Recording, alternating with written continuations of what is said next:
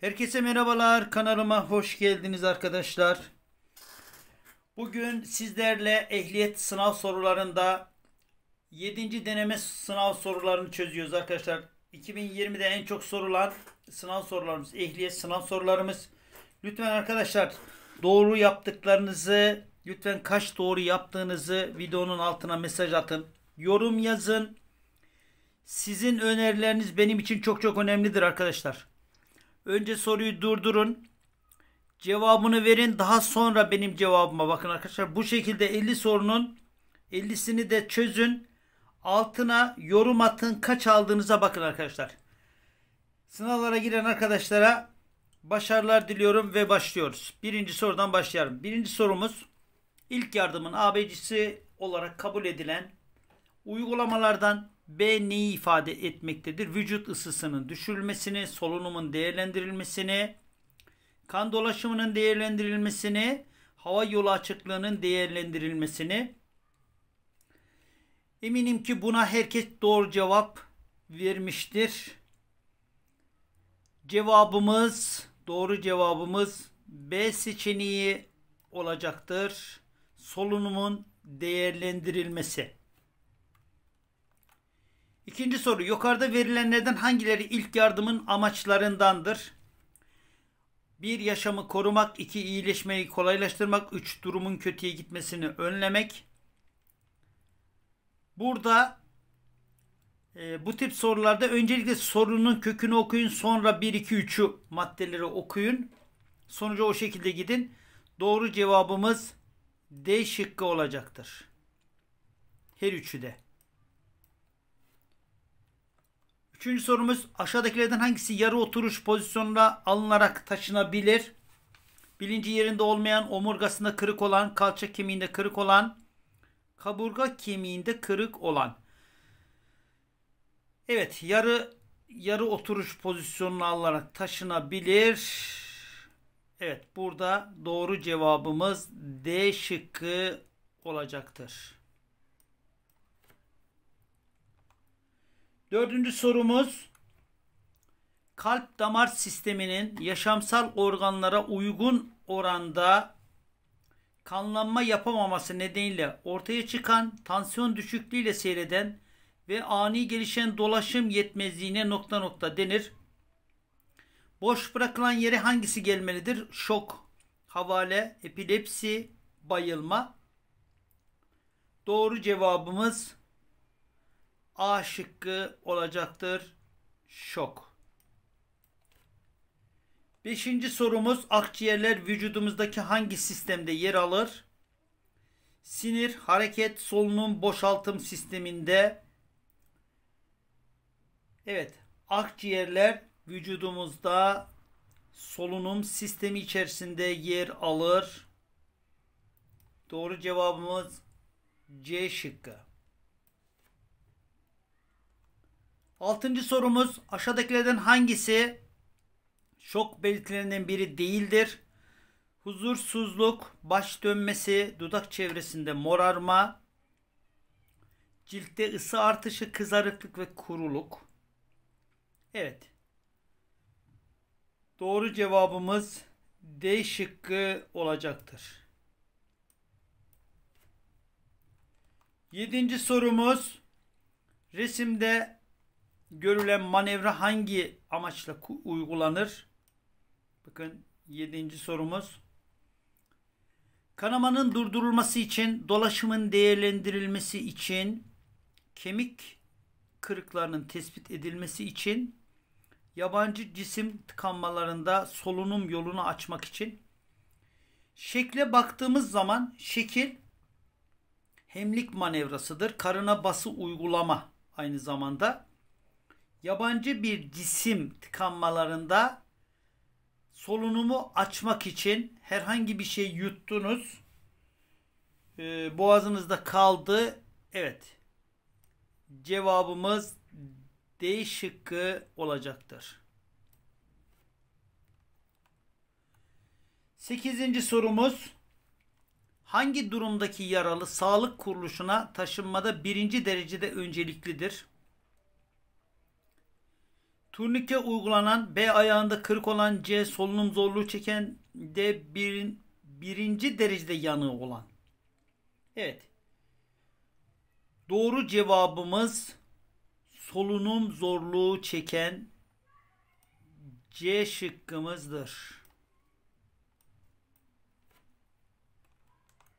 Dokuzuncu sorumuz eklemlerin zorlanmasıyla ortaya çıkan en hafif zedelenmeye ne denir? Kırık, çıkık, burkulma, çarpma. Evet. Ee, burada en hafif zedelenmeyi sormuş. Doğru cevabımız C şıkkı olacaktır. Burkulma. 10. sorumuza bakalım. Aşağıdakilerden hangisinde yetişkin bir hastada solunum sayısı, nabız sayısı, ortalama vücut sıcaklığı doğru olarak verilmiştir? 15 30 50 80 36 buçuk 12 20 20 40 30 40 Evet arkadaşlar solunum sayısı ne biliyorsunuz yetişkin bir insanda solunum sayısı 12-20'dir. E, nabız sayısı 60 ile 100 arasındadır. Ortalama sıcaklık da 36,5'tur. Burada seçeneklere baktığımızda doğru cevabımız B şıkkı olacaktır. 11. sorumuz kişinin çevreyle bağlantısının tamamen kesildiği, uyaran, uyaranlara cevap veremediği, uzun süreli ve derin bilinç kaybına ne denir? Halsizlik, koma, bayılma, şok. Uzun süreli bilinç kaybı komadır. Doğru cevabımız B şıkkı olacaktır. Evet. 12. sorumuz Kanamanın fazla olduğu bacak yaralanmalarında kanamayı azaltmak için basınç uygulanacak bölge aşağıdakilerden hangisidir? Kasık iç kısmı, bacak dış kısmı, dizin ön üst kısmı, karnın ön üst kısmı. Evet. Burada da dikkat edersek e, kasık iç kısmıdır. Cevap A şıkkı olacaktır.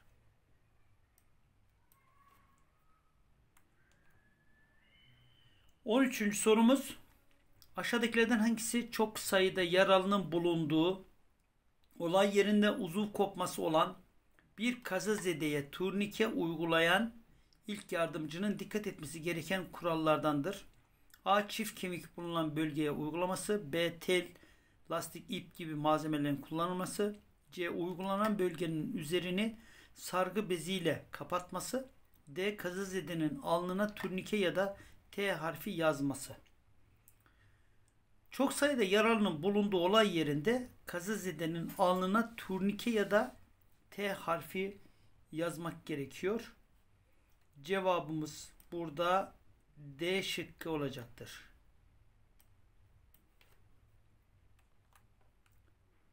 14. sorumuz atar damar kanamalarında kısa zamanda çok kan kaybetmemek için kanayan yer üzerine veya kanayan yere yakın bir üst atar damar bölgesine basınç uygulanır. Buna göre bir boyun, iki koltuk altı, üç köprücük kemiği üzeri verilenlerden hangileri vücutta bu amaç için belirlenmiş basınç uygulama noktalarındandır?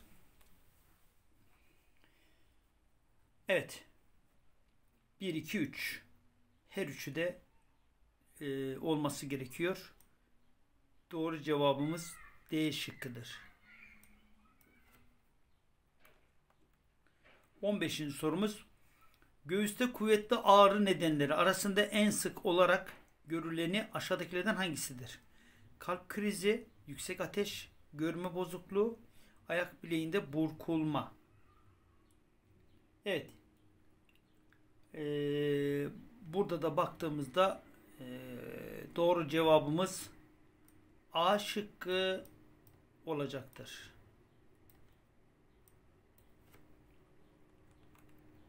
On altıncı soru belirli araçların can ve mal güvenliğini tehlikeye sokmamak şartıyla görev sırasında trafik kısıtlama veya yasaklarına bağlı olmamaları durumuna ne denir? Gabari, geçiş hakkı, geçiş kolaylığı, geçiş üstünlüğü. Doğru cevabımız D şıkkı geçiş üstünlüğü olacaktır. 17. sorumuz araçların yüklü veya yüksüz olarak karayolunda güvenli seyirlerini temin amacıyla uzunluk, genişlik ve yüksekliklerini belirleyen ölçülere ne denir? Dingil ağırlığı, taşıma sınırı, gabari, hız sınırlayıcı.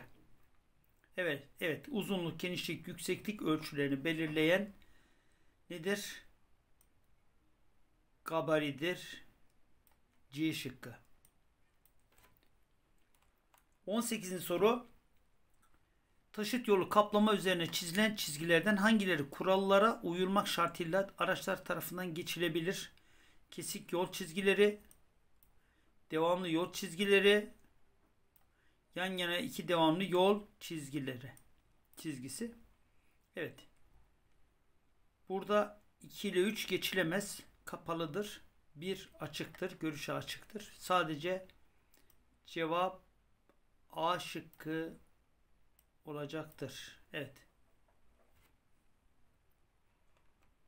19. soru karayollarında uzun süreli beklemeyi gerektiren duraklamalarda aşağıdakilerden hangisinin yapılması gerekir? Trafik görevlisine haber verilmesi, B. Motor çalışır halde farların yakılması, C. Aracın başında gözcü bulundurulması, D. Motorun durdurulup el freninin çekilmesi. Evet. Uzun süreli beklemelerde motoru durdurup el frenini çekmek gerekiyor. Doğru cevabımız D şıkkı olacaktır. 20. sorumuz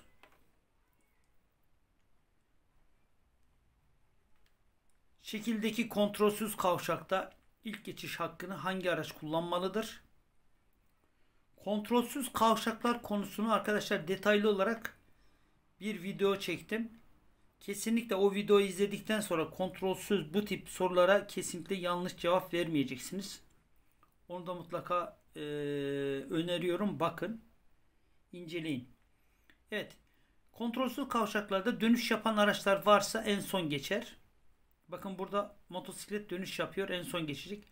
Lastik tekerlekli ve iş makinesi varsa diğer motorlu araçlara yol verir kural. Bakın burada ikisini eledik. Ne kaldı? Otomobil ile kamyonet kaldı. Şimdi e, otomobille kamyonet arasında hangisi geçmesi gerekiyor? Bakın sağda kamyonet var. Kamyonet geçer. Otomobilin sağında olduğu için kamyonet geçer. Doğru cevabımız C şıkkı olacaktır. Evet 21. sorumuz aşağıdakilerden hangisinde sürücülerin geri gitmesi yasaktır? A. Bağlantı yolunda seyrederken B. Tek, tek yönlü kara yollarında C. Tek yönlü yollarda park ederken D. iki yönlü dar yollarda geçiş kolaylığı sağlarken Evet. Sürücülerin geri gitmesi e, yasak olan yolların başında bağlantı yolları gelir. Arkadaşlar bakın e, doğru cevabımız A şıkkı olacaktır. Evet. 22. sorumuz aşağıdakilerden hangisinin şehir içindeki araçlarda kullanılması yasaktır? A. Stepne B. Havalı korna C. Güneş gözlüğü D. Emniyet kemeri Evet. Havalı korna yasaktır. B şıkkı. 23. soru ölümle sonuçlanan trafik kazalarına asli kusurlu olarak sebebiyet veren sürücülerin sürücü belgeleri ilgili mahkeme tarafından kaç yıl süreyle geri alınır? 1, 2, 3, 4. Evet. Burada da doğru cevabımız 1 olacak arkadaşlar. A seçeneği doğrudur. Evet. 24. sorumuz romork takmış otomobilin azami hızı romorksuz halindeki azami hızına göre nasıl olmalıdır? Aynı. Yarısı kadar 10 km saat daha az, 10 km saat daha fazla hız sınırı. Evet. Burada da e, 10 kilometre saat daha az olması gerekiyor. Doğru e, cevabımız e, C seçeneği olacaktır. 25. sorumuz aksine bir işaret yoksa şekildeki aracın yerleşim yeri içindeki azami hızı saatte kaç kilometredir? Otobüsün yerleşim yeri içindeki azami hızını sormuş bakın burada. 50, 70, 80, 90. Ee, tabii ki burada doğru e, seçeneğimiz 50'dir. Hız sınırı, sınırı. Otobüs, kamyon, kamyonet, otomobil, motosiklet, evet bakın. Ee, bunlar yerleşim yerleri içerisinde azami hız sınırları 50'dir. Evet. 26. Tepe üstüne yakın yerde veya dönemeçte arızalanan aracın ön ve arkasından en az kaç metre uzağa yansıtıcı konulur? Konulmalıdır. 5, 15, 20, 30. Evet. Araçlarda iki adet e, reflektör bulunuyordu. Birinci noktaya 30, ikinci noktaya 150 metreden işaretleme yapıyoruz. Evet 30 metre. Doğru cevabımız D seçeneğidir. 27. sorumuz Yönetmeliğe göre işitme cihazı ile belirli bir duyma yeterliliğine ulaşan sürücü aşağıdaki sürücü belgelerinden hangisiyle araç kullanabilir? G sınıfı, A1 ve A2 sınıfı, C, CE ve D sınıfı, B sınıfı hususi araç. Evet. Ee, burada doğru cevabımız D şıkkı olacaktır. 28. sorumuz bir trafik sorusu. Şekildeki trafik işaretini gören sürücünün aşağıdakilerden hangisini yapması yanlıştır? A. Yolu kontrol etmesi. B. Aracını yavaşlatması. C. Takip mesafesini azaltması. D. O bölgeden dikkatli geçmesi. Burada doğru cevabımız C şıkkı olacaktır. Takip mesafesini azaltmaz, artırması gerekir. 29. soru yine bir trafik sorumuz. Şekildeki trafik işareti aşağıdakilerden hangisini bildirir? Sağdan ana yola girişi, soldan ana yola girişi, sağ tehlikeli virajı, açılan köprü, sağdan ana yola girişi bize işaret bildiriyor. Doğru cevabımız A şıkkı olacaktır. 30. sorumuz Şekildeki trafik işaretinin anlamı nedir? Ehli hayvanlar giremez. Ehli hayvanlar geçebilir. Vahşi hayvanlar geçebilir. Vahşi hayvanlar giremez. Yine baktığımızda vahşi hayvanlar geçebilir. C şıkkı doğrudur. 31. sorumuz şekildeki yol bölümünde görülen trafik işaret levhası sürücüye aşağıdakilerden hangisini bildirir? Bölünmüş yola girileceğini, tali yol kavşağına yaklaştığını, iki yönlü yol kesimine yaklaşıldığını, ileride kontrolsüz bir kavşağın olduğunu. Evet. Burada da doğru cevabımız C şıkkı olacaktır. İki yönlü yol kesimine yaklaştığını bildirir. 32. sorumuz şekle göre aşağıdakilerden hangisi yasaktır? A. Araçların takip mesafesine uyması. B. 3 numaralı kamyonun önündeki araçları geçmesi. C 2 numaralı aracın 1 numaralı aracı geçmesi. D 2 numaralı aracın 1 numaralı aracı geçerken hızını artırması. Burada da 3 e, numaralı kamyonun önündeki araçları geçmesi bakın yasaktır. Sollama yasağı işaretimiz var. Doğru cevabımız B seçeneğidir. 33. soru. Şekle göre hangi numaralı araç sürücüsünün davranışı asli kusurlu hallerden sayılır? Evet.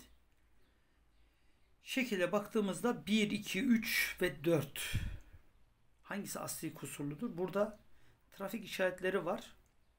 Sola dönüş yasak. İşaretimiz var. Ee, sola dönüşü hangisi e, ihlal etmiş? Asli kusur işlemiş. 2 numara işlemiştir. Evet. Doğru cevabımız B şıkkıdır. 34. soru. Şekildeki gibi sağa dönüş sırasında aşağıdakilerden hangisinin yapılması yanlıştır? Dönülen karayolunun gidiş şeridine girilmesi, B. Karşıya geçen yayalara yol verilmesi, C. Geniş kaviste dönülmesi, D. Dar kaviste dönülmesi. Bakın araç sürücüsü sağ sinyal vermiş. Sağ dönüş yapacak. Sağ dönüşler e, hepinizin bildiği gibi geniş kaviste yapılmaz. Dar kaviste yapılır. Geniş kaviste dönülmesi yanlıştır. Cevap burada yanlışı soruyor. C seçeneği doğrudur. 35. Aşağıdakilerden hangisi şehirler arası karayollarının yapım ve bakımından sorumludur? İl Belediye Başkanlığı, Emniyet Genel Müdürlüğü, Karayolları Genel Müdürlüğü, Bayındırlık ve İskan Bakanlığı. Karayollarının yapım ve bakımından sorumlu e, şehirler arası karayolları, Karayolları Genel Müdürlüğü'dür. Cevap Ceyhan. 36. sorumuz bir trafik polisi e, işareti sorusu. Trafik görevlisinin geceleyin ışıklı işaret çubuğunu şekildeki gibi hareket ettirmesinin sürücü için anlamı nedir? Hızlanma işareti, geç işareti, yavaşlatma işareti, dur işareti. Evet. Trafik polisi hareketlerini de yine bir videoda topladım. Ve orada bütün çıkmış çıkabilecek sorular var. Orayı da tekrarlamanız sizin için önemli arkadaşlar. 36. soruda burada dur işaretini bildiriyor. Cevap Denizli. 37. sorumuza bakalım. Şekildeki gibi dönel kavşağa gelen bir numaralı aracın sürücüsü ne yapmalıdır? Bir numaralı araca bakalım. Dönel kavşak içinde iki numara var. Bir numarada dönel kavşağın dışında. Korna çalıp iki numaralı aracı durdurmalıdır. İki numaralı aracın geçmesini beklemelidir. Hızlanarak yoluna devam etmelidir. Geçiş hakkını kendi kullanmalıdır. Evet. Burada da dikkat ettiğimiz zaman dönel kavşak ile ilgili kuralımız dönel kavşağa en yakın araç ilk geçiş hakkına sahiptir. 2 numaralı aracın geçmesini beklemelidir. Doğru cevabımız B şıkkı olacaktır. 38. sorumuz Ağır hasarlı veya ölümlü trafik kazalarına karışan sürücülerin aşağıdakilerden hangisini yapması yasaktır? A. Olayı en kısa zamanda yetkililere bildirmesi. B. Kazaya karışan aracın yerini değiştirmesi. C. Trafik güvenliği için ışıklı yansıtıcı cihazlar koyması. D. istenildiği takdirde gerekli bilgi ve belgeleri karşı tarafa vermesi. Evet. Burada yasak olan soruluyor. Kazaya karışan aracın yerini değiştirmek yasaktır.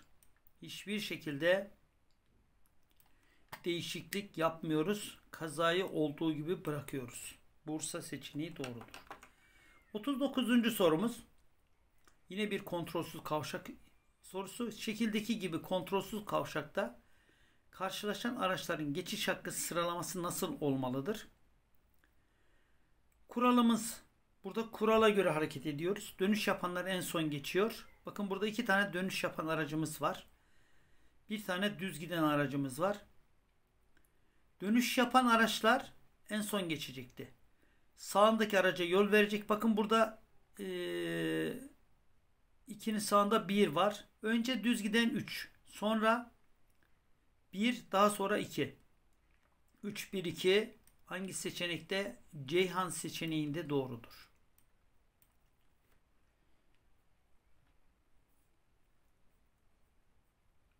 Evet.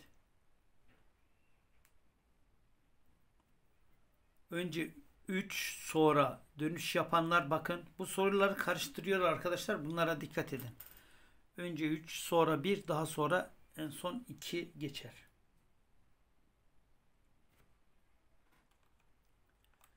Kırkıncı sorumuza bakalım. Haritada yeri gö gösterilen illerden hangisi daha doğudadır? Uşak, Sivas, Konya, Trabzon. Evet en doğuda olan hangisidir burada? Bakın Trabzon. Evet doğru cevabımız D şıkkıdır.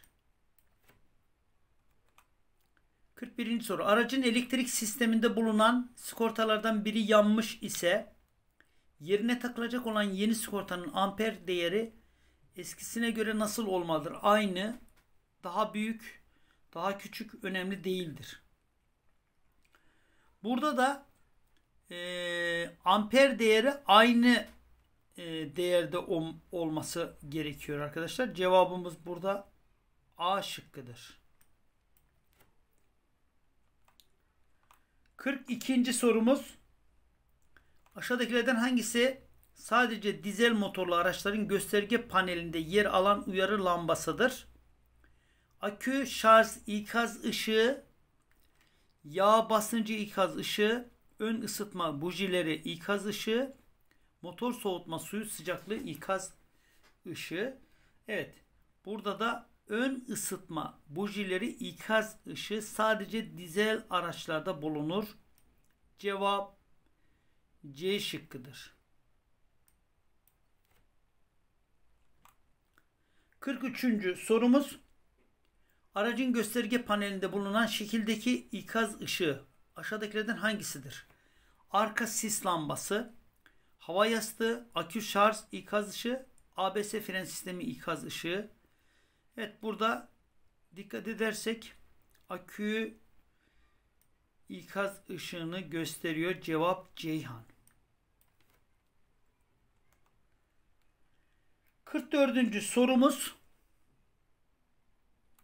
şekildeki soru işaretiyle gösterilen ve diferansiyelden aldığı hareketi tekerleklere ileten güç aktarma organının adı nedir? Soru işaretinin olduğu yere ne gelmelidir? Volan, aks, kavrama, vites kutusu. Doğru cevabımız B şıkkı olacaktır. Aks. 45. soru süspansiyon sisteminde bulunan ve yay salınım süresini kısaltan parça aşağıdakilerden hangisidir? Rotil, aks, amortisör, şaft. Süspansiyon sistemi sürücü ve yolcuların yol bozukluklarından etkilenmeden sarsıntısız bir şekilde yolculuk yapmalarını sağlar. Süspansiyon sisteminin parçaları yaylar, helezon yaylar, amortisör ve makaslardan oluşur. Burada doğru cevabımız C şıkkı olacaktır amortisör. 46. soru. Motor çalıştığı sürece aracın elektrik ihtiyacını karşılayan sistem aşağıdakilerden hangisidir? Marş sistemi, şarj sistemi, yakıt ve soğutma sistemi. Evet. Şarj sistemi olacaktır. Cevap B şıkkı. 47. soru. Benzinli motorlarda emme zamanında silindire hangisi alınır? Hidrolik yağı, sadece hava, sadece yakıt, yakıt ve hava karışımı. Evet. Benzinli motorlarda emme zamanında yakıt ve hava alınır. Cevap D şıkkı olacaktır. 48. sorumuz bir trafik adabı sorusu. Denetim ve ceza korkusu olmadan yazılı kurallara uymanın yanı sıra yazılı olmayan trafik içerisinde karşılıklı anlayış ve empati gerektiren davranışları oluşturma ve bu davranışları alışkanlık haline getirmedir. Bu cümlede tanımı yapılan kavram aşağıdakilerden hangisidir? A. Mizaç B. Beden dili C. Trafik adabı D. Konuşma uslubu Evet. Burada da dikkat edersek trafik adabından bahsetmiş. Ee, cevabımız C şıkkı olacaktır. Trafik adabı. 49. sorumuz sürücülerin trafik içindeki davranışlarının sonuçlarını düşünerek hareket etmesi hali trafikte hangi temel değere sahip olunduğunu gösterir. Kabalık, hırçınlık, bencillik, sorumluluk. Evet. Burada da e, sorumluluk duygusundan bahsetmiş. Doğru cevap D şıkkı olacaktır. Evet son sorumuz arkadaşlar. Eminim ki hepiniz e, soruları düzgün bir şekilde yaptınız ve sonuçlarınıza bakacaksınız birazdan. Trafikte kırmızı ışıkta beklerken ışık sarıya döner dönmez önündeki araca korna çalan, ışığın yeşile dönmesi için bir saniye bile beklemeyen sürücünün bu davranışı için aşağıdakilerden hangisi söylenebilir? A. Saygılı B. Telaşsız C. Sorumlu D. Sabırsız Evet. Burada da e, bu kişinin sabırsız bir kişi olduğundan bahsediyor. Evet. Evet arkadaşlar. YouTube Nedim Şeker Akademi kanalına abone olup videoları beğenmeyi unutmayın lütfen. Hepinize başarılar dilerim. %100 ehliyet yazılı e, sınavlarını kazanma garantili örnek soruları kaçırmayın. Bundan önceki attığım videoları da mutlaka çözün arkadaşlar konularla birlikte anlattığım diğer videoları da mutlaka göz geçirin. Hepinize başarılar diliyorum. Bir sonraki videoda görüşmek üzere. Hoşçakalın.